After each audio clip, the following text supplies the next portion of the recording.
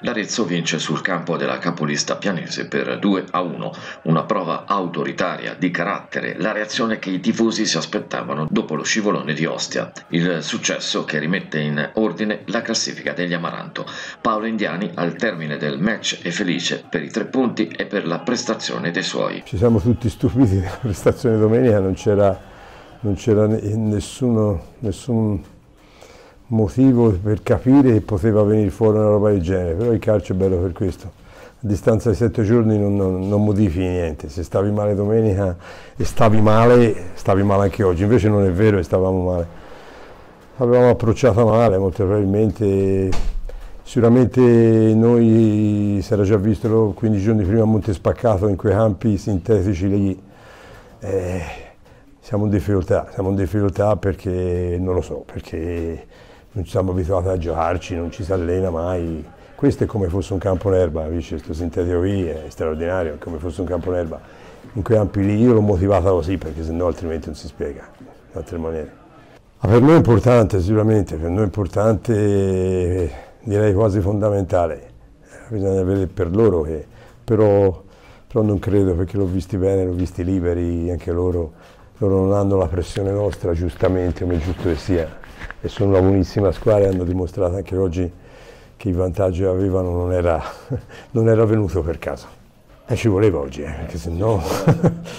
no, l'inizio è stato difficile, all'inizio loro sono stati bravi e insomma l'inizio diciamo è abbastanza equilibrato. Poi no, poi mi è andata avanti la partita, mi sembrava che ecco, si uscisse bene. L'inizio del secondo tempo è stato straordinario, l'inizio del secondo tempo eh, praticamente l'abbiamo presa noi la gara a mano e, e se non veniva l'episodio su 2-0 mi sembrava che la gara fosse incalinata proprio su, su, su una vittoria larga, perché loro dopo il 2-0 non erano in grado. Poi è chiaro, eh, dopo, dopo il gol su angolo la cosa si è capovolta.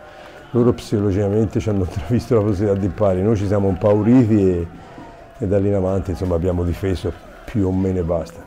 Però è che alla fine sicuramente non si può parlare di vittoria rubata, non credo. Il campionato è chiaro, è totalmente riaperto, e... però se ora non mettiamo un bel filotto, questa vittoria qui si vanifica, eh? bisogna mettere un bel filotto ora e siamo in grado di poterlo fare. Un tifo da brividi da altre categorie. L'Arezzo è stato sostenuto e incoraggiato da un tifo incessante e a tratti commovente. Più di 600 cuori amaranto che hanno esultato a fine partita per questa importantissima vittoria. La nostra straordinaria, lo dicevo prima agli altri, quando inizi la partita e vedi una muraglia del genere, una cosa a livello di D fuori, fuori dalla norma è indipendentemente dalla D, anche in C non esiste. Sono straordinari, è un pubblico straordinario e merita tutto, tutto il meglio possibile che noi possiamo fare.